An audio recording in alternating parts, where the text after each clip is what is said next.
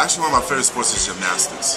Uh, just because I mean those guys are pretty strong, just like the flips and also the girls, everything that they can do with their body. Um, it's pretty cool. I mean, they have like really good um, aerial awareness, kind of like the airless as well. But so like gymnastics is definitely my favorite sport. It's one of the sports I wish was offered around my house that I could have done growing up.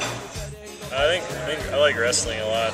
That's um, something I know a few people that wrestle. I wrestled in high school too, and something that you have to push your body to the limit every day. And just watching people in the training room, it's pretty amazing to see what people can do. I think I admire, uh, well, I'm an endurance sport junkie, so I admire the endurance sports like uh, track, uh, track and field, but the just the track events and then cross country running. And let's see, um, speed skating. I always thought was really interesting, and then uh, Nordic skiing. I think swimming. Swimming even when we have like those pool workouts and they tell us to do like five laps, I have to stop like half. I can't even do a full lap. I have to do like half. I'm just like, how do people do this all the time? And it's like complete full body. That's why I like wrestling so much because it uses like every muscle in your body. I think swimming is the same way. They use every, and they have really nice backs.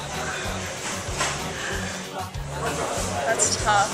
Um, I don't admire any other sports. That's not true.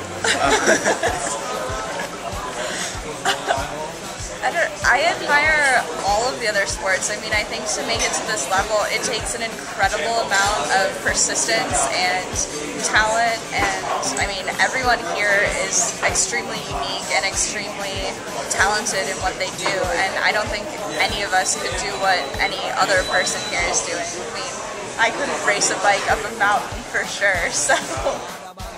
I admire wrestling a lot because I was a wrestler growing up back in high school and it's the closest thing to judo than any of the other sports in uh, the Olympics. With that, I think being a resident here, a lot of times you forget how amazing the people around us are. You know, it's not every day you sit down next to Olympians and medalists and um, people that are just at the very top of what they do. Um, and it's, it's, definitely a different environment to be around. But I, I don't know that there's any one sport that I, I look at and I um, I think that they're any, any greater than other sports. Just it's whatever you're doing, it, people here are the best at it, and I, I really admire that. I really, that's a really tough one. I really, there's a lot of different sports that, you know, a lot of things to admire um, in very different ways, from disciplines to discipline.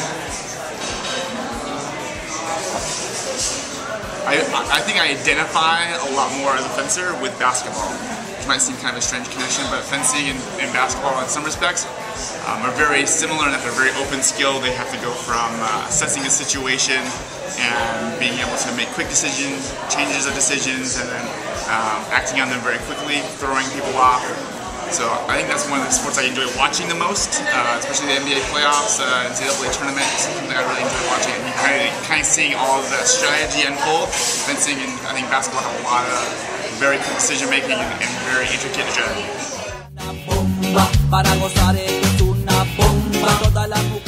Go Team USA! Woo! Go America!